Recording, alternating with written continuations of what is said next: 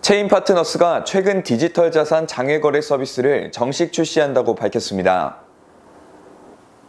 체인 파트너스는 해당 서비스를 통해 국내외 법인이나 기관 투자자, 고액 자산가 등 전문 투자가가 최소 5천만 원 이상의 디지털 자산을 대량 구매하거나 처분 시 지원할 방침입니다.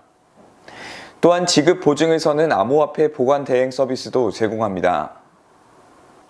특히 OTC 서비스 가입을 원하는 투자자는 엄격한 실명 인증과 자금 세탁 방지 확인 절차를 비롯해 은행 계좌 개설보다 까다로운 10여 종의 서류를 제출해야만 합니다.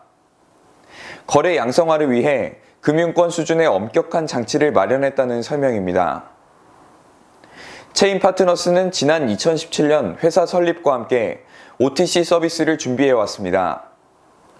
해외의 경우 개인보다 기관 투자자를 중심으로 활발한 투자가 이루어지면서 국내에서도 이 같은 추세가 이어질 것이란 판단에 관련 서비스를 선보이게 됐습니다.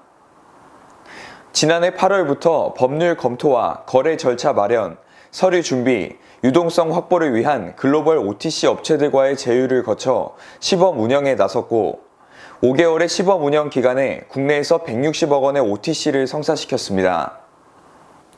지난해 11월에는 합법적인 디지털 자산 취급을 위해 국내 업체 최초로 유럽연합 가입국 몰타 정부로부터 최상위 디지털 자산 취급 라이센스인 클래스 4를 취득했습니다. 몰타 의회는 지난해 8월 세계 최초로 가상금융자산법을 통과시켜 관련 사업을 합법화시켰습니다. 체인 파트너스는 서클, 컴벌랜드, 갤럭시 디지털, 홍콩 OSL, 키네틱, FBG, QCP 등 글로벌 7대 대형 디지털 자산 OTC 업체와 네트워크를 구축하고 있습니다.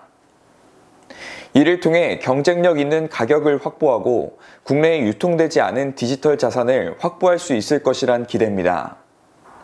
표철민 체인 파트너스 대표는 지난 수년 동안 자금 세탁이나 탈세의 온상이던 디지털 자산 장외 거래를 양성화해 건전한 디지털 자산 생태계를 만드는 것이 궁극적 목표라며 해외 사례처럼 국내에서도 기관이 디지털 자산을 취급하게 되면 관련 인프라를 체계적으로 구축해 놓은 회사가 앞서 나갈 것이라고 밝혔습니다.